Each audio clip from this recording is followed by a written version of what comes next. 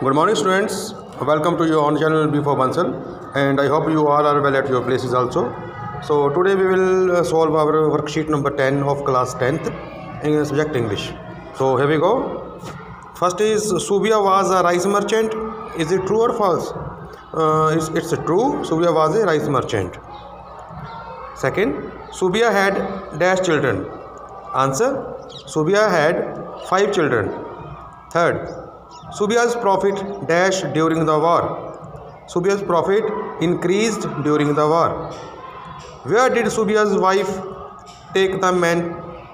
Subia's wife took the man to go down. Subia died in a road accident. True or false? Subia died in a road accident? No, it's false. Subia was buried under the bags and died. It's true. Next lesson is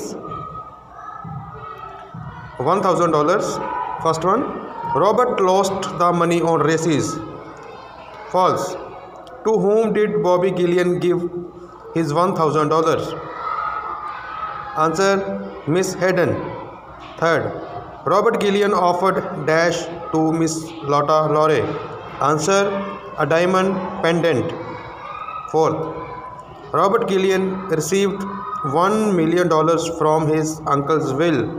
It's false. The blind man was selling dash on the walk side. Answer pencils.